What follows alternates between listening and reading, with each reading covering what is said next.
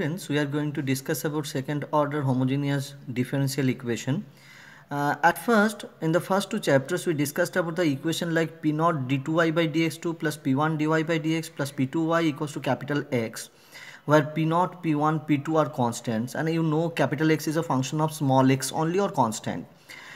Those type of equations you can solve. Now, what is second order homogeneous differential equation?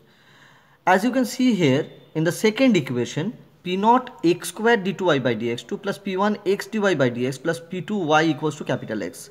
So you can see that uh, it is multiplied by x square here and it is multiplied by x here.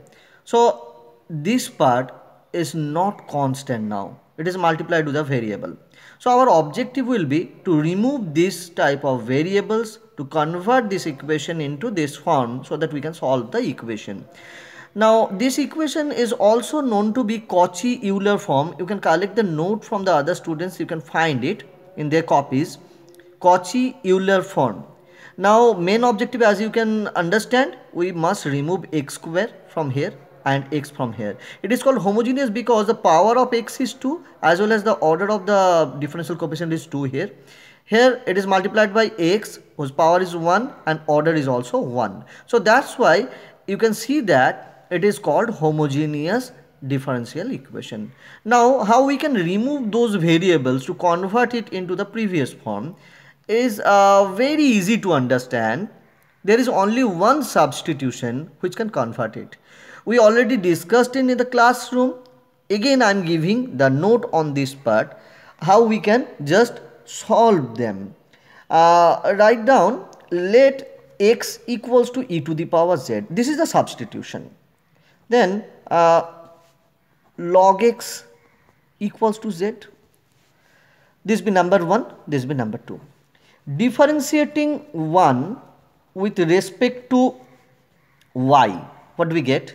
dx by dy equals to dd y of e to the power z equals to dd x as you know by chain rule uh, dd z of e to the power z into dz by dy. So it is equals to d e to the power z into dz by dy. Now e to the power z is nothing but x so I can replace here x dz by dy. Now inverse of this one will give dy by dx equals to 1 by x dy by dz isn't it? Now multiply x by this one x dy by dx equals to dy by dz. So this is your first equation as you can see we can just convert them convert them or convert this part by dy by dz. Now this be 3 again differentiating uh, 3 with respect to x we get x d2y by dx2 plus dy by dx equals to ddx of dy by dz equals to again by chain rule d by dz of dy by dz into dz by dx. Now this will be d2y by dz2. Now look here it is uh, number 2. Number 2 equation is log x equals to z.